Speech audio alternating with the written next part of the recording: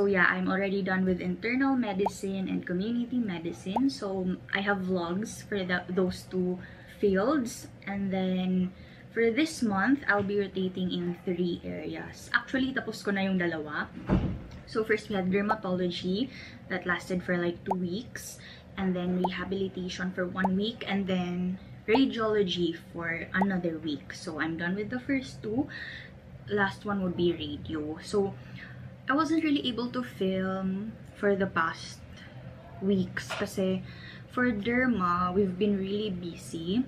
So we had quizzes. Every single day we had assessments. So it was identification in form. So I had to exert a little bit more effort into memorizing the terms. Kasi sa derma, they have a lot of terms. They gather their, their assessment differently. So I also, you know, spend time learning how to characterize the lesions, how to describe them correctly. And also, in addition to the everyday quizzes, we had an exit exam that was like 100, 100 items during the last our last day. So, ayun, I had to prepare for that one also. And then, ayun, aral talaga, todo. And dermatology is really one of the one of the rotations na I've been looking forward to. And yeah, I think I'm okay naman. I maximized the opportunities that was handed to me there. And then, we also had rehab. So, it's a specialization I never really considered entering. I really learned a lot though, like kudos to all the residents. They really simplified a lot of anatomical stuff, especially like the nerves. Ngayon, I can even draw like the brachial plexus na. Like yung lumbar plexus, sacral plexus. So, ayun. Those were the things na medyo mahirap kabisaduhin. But yeah, I get it all now. Masaya naman siya. I really enjoyed also rehab med. For rehab, we also had an exit exam. So, identification naman, we finished it kanina. Pero tomorrow, so walang pasok yung medical school, yung first year to third year, kasi it's mental health day. Sa amin naman, only 12-hour duties, and then yung OPD or outpatient department is only half day. Pero we don't fall into those categories. So, ayun, we're given time off for two days tomorrow. Uh, this is the only chance I have to go home. So, I grabbed it na lang. Kasi next month, actually, I just saw the schedule, like, and wala akong day off next month. So, yeah, I won't tell you guys muna what my next rotation, where my next rotation would be. Yung month muna na to yung focus natin. I'm gonna pack my bags muna for my flight tomorrow. Na sana matuloy, please.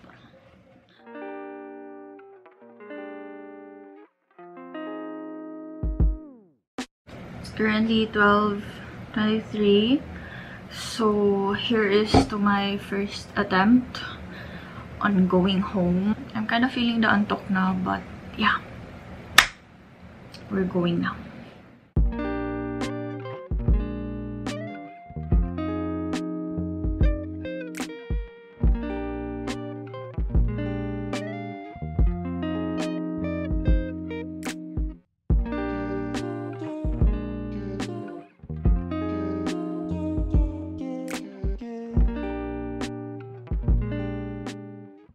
Hey guys, I'm finally home. So, here's my dog. My small dog, Panini. Say hi to the people. Say hi to the vlog, Panini. My small dog. She's been really sick. I don't know why. It, my mom took her to the vet the other day and ayun, madami siyang meds. So, ayun. It's been a really long time since nakauwi ako. So, like, I started to go on duty July. So, ano na ngayon? July, June, July, October. So, it's been four months. So, ayun. I'm just really happy na, na nakauwi ako. I think this would be the last time na makakauwi ako this year. Stay strong, my dog. I will see you next year pa after clerkship. Don't get sick. Oh. My cute dog. She's not smiling because she's not feeling well. I'm really forward to ano, reaching the point na pwede na akong makauwi here sa amin. So, yeah. Pero I think after residency pa, it's really such a long journey for me. So, that's that. I'm gonna study muna for the rest of the night. And then, tomorrow, hopefully, if hindi umulan, we're going to jog. I mean, walk. Walking muna. Okay, sleep ka na. Sleep ka na. I will let you down now.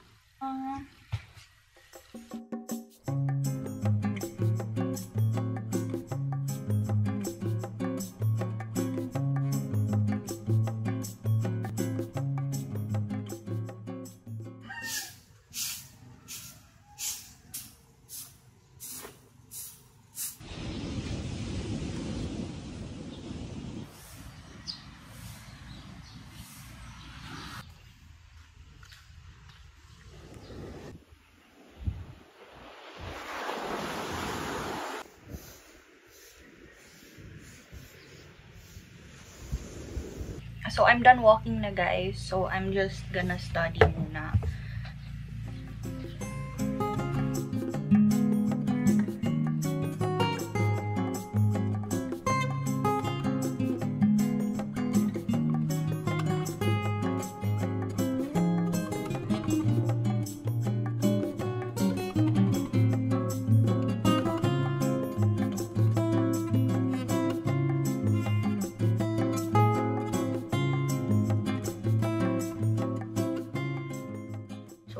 Guys! I have a panini here with me. So, I'm preparing na for my flight mamaya.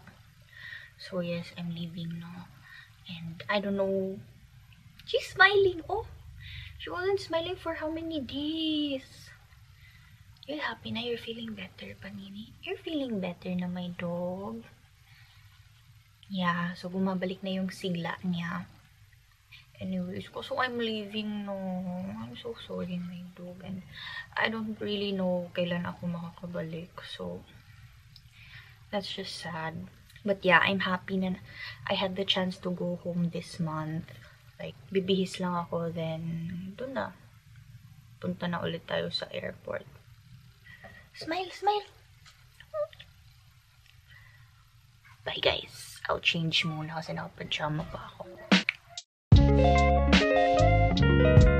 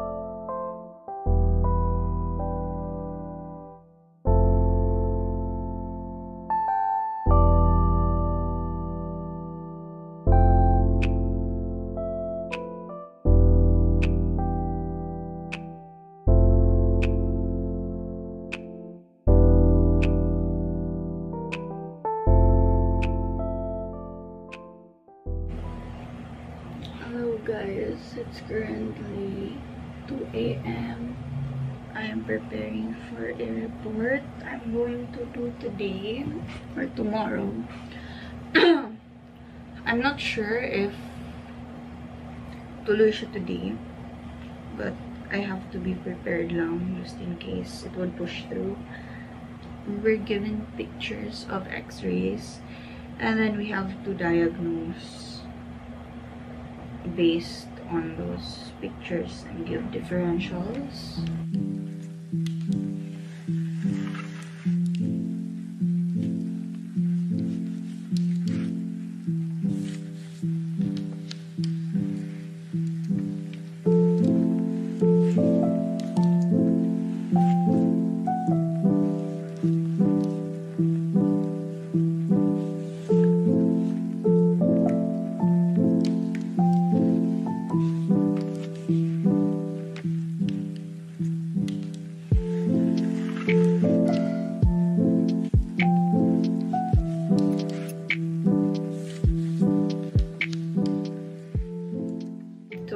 Guys, it's our lunch break na. So, we had a lot of patients today. I mean, this morning kasi we still have mamayang hapon. So, ayun. I'm assigned to ultrasound today and tomorrow, I guess.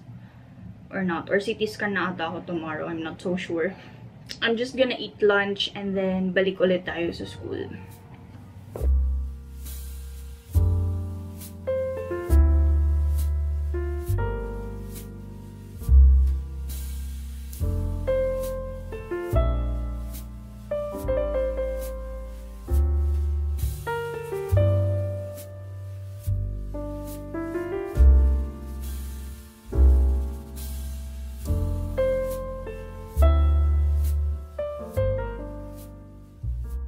So, hello guys. Hindi natuloy yung report ko today.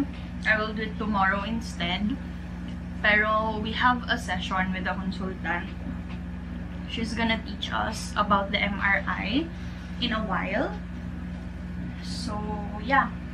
Magbabasa lang muna ako ng kaunti all about the MRI from our previous lectures. Just in case magtanong siya. And yeah, we're going to attend the class.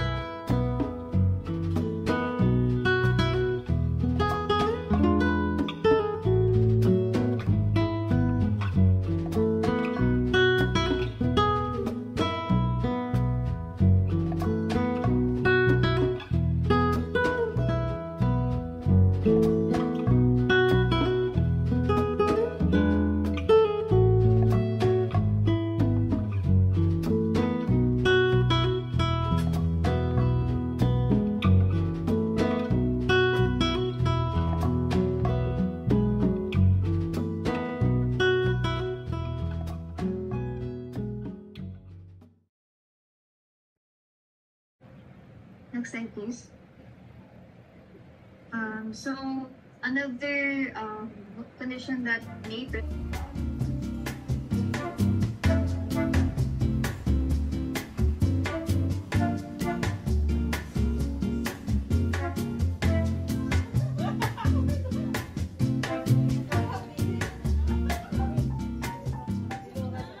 So, hey guys, I finally got home. I'm done with my radio rotation na. So, yeah. So, I just showed you clips kung saan kami nag-rotate for the past few days because I can't really show what's happening inside kasi, you know, there's a lot of confidential things happening. We had a lot of patients who were able to observe a lot of procedures, which I'm very happy.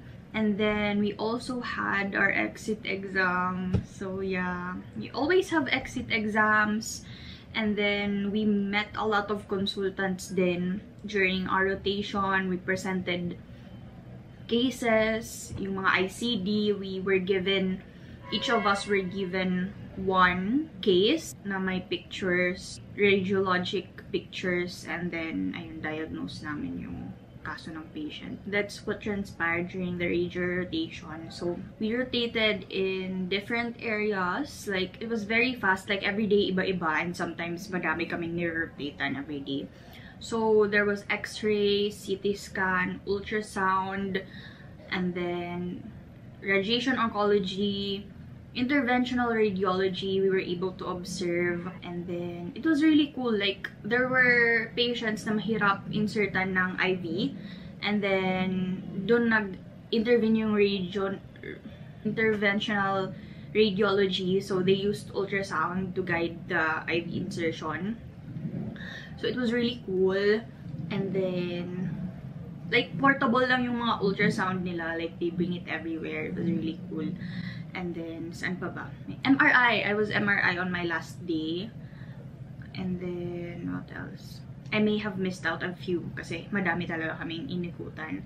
But it was really, you know, it was really nice. And yeah, thank you for watching my vlog and see you guys on my next rotation. Bye!